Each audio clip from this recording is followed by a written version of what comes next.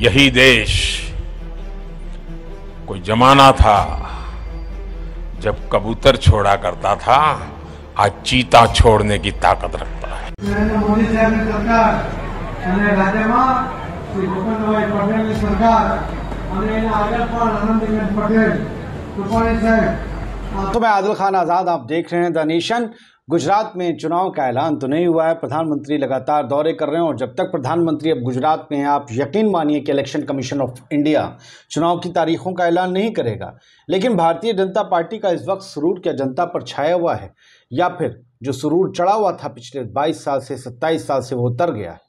लग तो यही रहा है क्योंकि अगर जयेश चौहान ने जो एक पत्रकार हैं गुजरात के, उन्होंने अगर जो वीडियो शेयर किया है, अगर उसको मान लें कि वो वाकई अभी इसी रैली का है, गुजरात गौरव यात्रा के समापन का तो फिर बड़ा मसला है। उन्होंने गुजराती में ट्वीट करते हुए लिखा है, जो मैं आपको हिंदी में बता दे रहा हूँ कि पोरबंदर से गुजरात बीजेपी के लिए अच्छी खबर नहीं आ रही। गौरव यात्रा के समापन के उपलक्ष्य में आयोजित बैठकों में खाली कुर्सियाँ देखी गईं।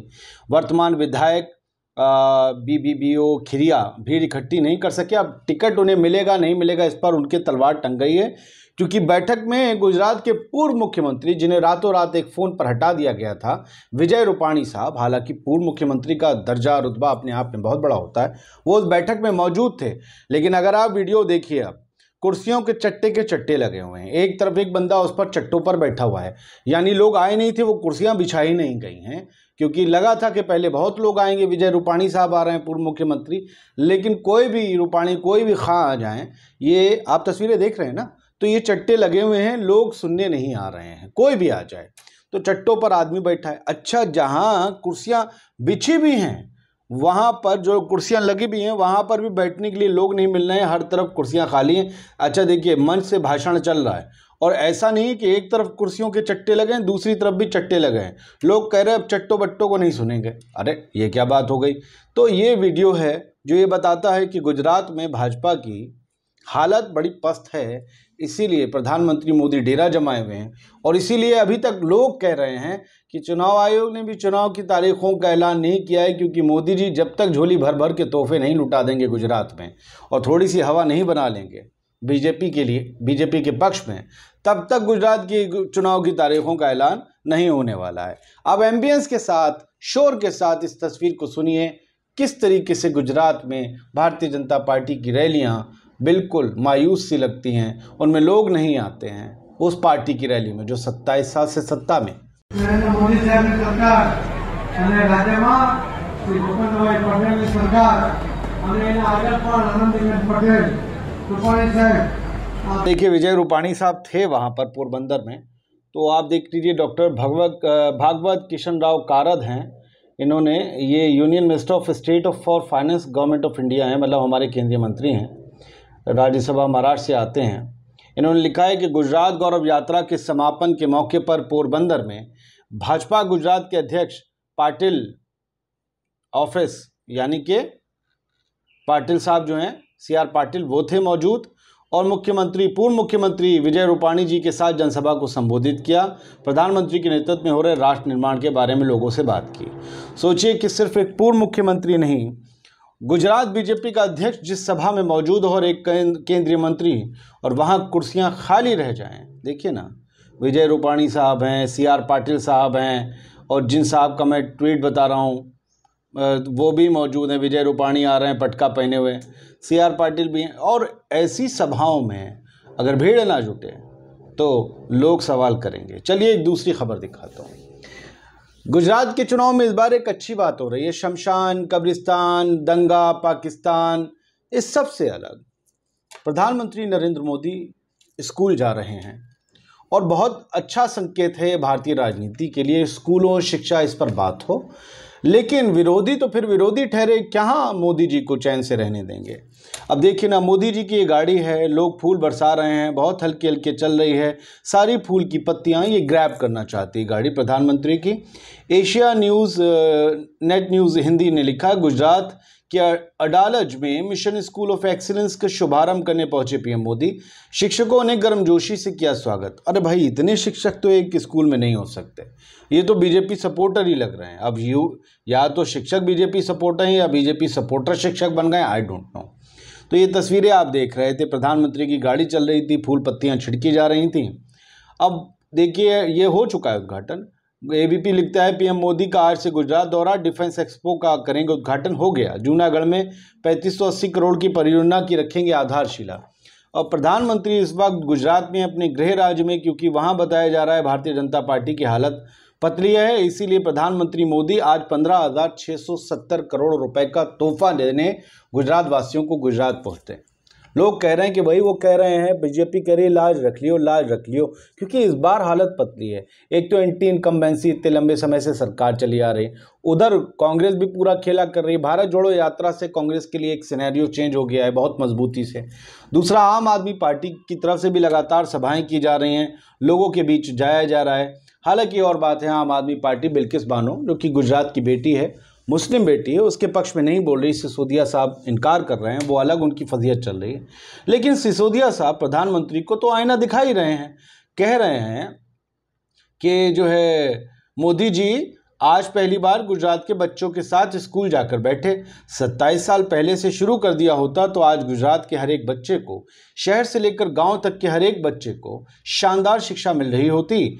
दिल्ली में पाँच साल में हो सकता है तो गुजरात में तो भाजपा सत्ताईस साल में से सरकार में है लेकिन जो भी है। सितोदिया सिसोदिया साहब, अरविंद केजरीवाल केजरीवाल साहब, मैं दिल्ली में रहता हूँ। पाँच साल में ये स्कूल बेहतर हुए हैं, उससे पहले से बन रहे थे स्कूल। शीला दीक्षित जी के टाइम में बहुत बने।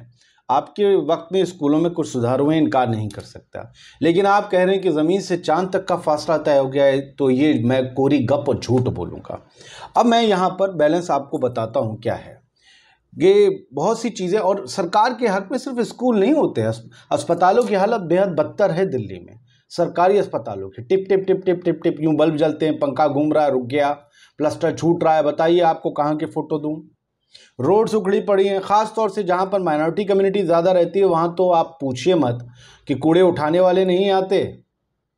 और आती एक बार सुबह में गाड़ी भोपा बजा के चली जाती है। रोड्स उधरे पड़े उधरे पड़े रहें तो अब्दुल को तो ऐसी रहने की आदत है। लाइट का भी कभी कभी गड़बड़ होता है, हालाँकि दिल्ली में कम होता है लाइट का। आपके ज़माने से नहीं, हमेशा से। कम से कम बीस साल से तो पंद्रह साल से मैं देख रहा हूँ। पाँच साल में ऐसा कोई अभूतपूर्व आपने बदलाव नहीं कर दिया। गुजरात में कुछ नई चीज़ के लिए तो वोट मांगिए कि हम ये करेंगे। लेकिन ऐसा मत करिए, हमने वहाँ जो है चाँद सितारे ज़मीन पर ला दिए। वरना आपके चाँद सितारों की चद्दर कोई नोच लेगा। ठीक है। क्योंकि कल जो आपने किया है, बोला है कि हम इस पर बोलेंगे, उस पर नहीं बोलेंगे। लोग पूछ रहे हैं, निर्भया के लिए तो गला फाड़ फाड़ के सब नाचते थे। बड़ा क्रांतिकारी बना होता था। आज सब लोग आपकी बखियाँ उधेड़ रहे हैं जो कल आपकी राजनीति के मुरीद थे। अब देखिए, अमर उजाला लिखता है कि भैया, गांधीनगर में बोले पीएम मोदी, गुजरात में शिक्षा के क्षेत्र में तेज़ी से बदलाव आ रहा है। कमाल है भाई, सत्ताईस साल से आपकी इस पार्टी सरकार में है, तीन बार आप मुख्यमंत्री रहे।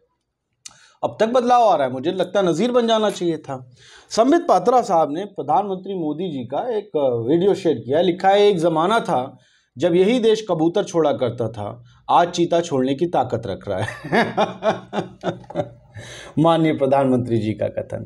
इस देश ने पहले भी चीते छोड़े हैं। प्रधानमंत्री जी हाथी भी छोड़े गेंडे भी छोड़े बाहर से लाके। ना हो तो उठा कर देख लीजिए, ना हो तो वन मंत्रालय से पूछ लीजिए। कबूतर के टाइम कबूतर ही छोड़े जाते हैं, प्रधानमंत्री जी।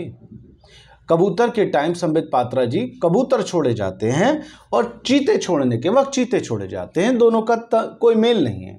सुई की जगह तलवार नहीं चलती और तलवार की जगह सुई नहीं चलती। अगर आप ऐसा कह रहे हैं संबित पात्रा जी तो मुझे लगता है आपकी सरकार और प्रधानमंत्री तलवार से अपनी शर्ट का बटन भी टाक सकते हैं और सुई से दुश्मन को मार सकते हैं। हर चीज़ की अपनी एक अहमियत होती है। इस तरीके के बयान हँसी उड़वाने के लिए काफ़ी हो यही देश कोई जमाना था जब कबूतर छोड़ा करता था आज चीता छोड़ने की ताकत रखता है। गुलाब सिंह यादव का ट्वीट देख लिए इस बार गुजरात में चुनाव के मुद्दे बदल रहे हैं। पहली बार शिक्षा की बात हो रही है। आज गांधीनगर अडलाज में प्रधानमंत्री जी ने mission of mission school of excellence की नींव रखी। ये नाम कुछ सुना सुना लग रहा है। उम्मीद है अगले चुनाव तक ये स्कूल बन जाएगा। हाँ यही तो मैं कहना चाह रहा था कि अगर आपको गुजरात को कोई तोहफे देने थे तो भैया चुनावी, चुनाव की बेला पर आकर क्यों ऐसे दे रहे हैं? कि लग रहा है कि चुनाव बस होने वाले हैं। आप जब तक हैं, इलेक्शन कमीशन ऑफ़ इंडिया बिल्कुल चुनाव की तारीख का ऐलान नहीं करेगा, मैं कह चुका हूँ। देखें, कर देते हैं, प्रधानमंत्री के गुजरात में रहते हैं। आप इनाम दे के जा रहे हैं जो, तोहफे दे के जा रहे हैं, वो तो चुनाव आचार संहिता लगने के बाद आ ही नहीं पाएँगे अमल में। उस पर काम हो नहीं पाएगा। आपकी पार्टी सत्ता से निकल गई तो कह देंगे, जी, हमने कहा था, लेकिन नई सरकार आ गई, उन्होंने किया नहीं। और अगर चुनाव में आप जीत गए तो फिर ये होगा कि, जी, बन रहा है, बन रहा है, जी, बन रहा है, जी, बन रहा है। पिछले साल से जो विकास के वादे थे, सब पूरे हो गए। चुनाव की बेला का इंतज़ार क्यों किया जा रहा था? गुजरात के लोगों को तोहफा देना था तो पिछली सरकार बनते ही दे देना चाहिए था बीजेपी की। चलिए जब विजय रूपाणी जी को हटाकर रातों रात नए मुख्यमंत्री बनाए, तब दे देते। अब तक तो कुछ काम हो गया होता। चुनाव का इंतज़ार किया जाता है और चुनाव आयोग इन, इस इंतज़ार का इंतज़ार करता है, लोग कह रहे हैं। खैर, आपको बड़ी खबरें गुजरात से रिलेटेड दिखा दी, बताइएगा ज़रूर। बड़ी मेहनत होती है रिसर्च पे, हमारी रिसर्च टीम बहुत मेहनत करती है। बताइएगा और क्या बेहतर कर सकते हैं। जय हिंद।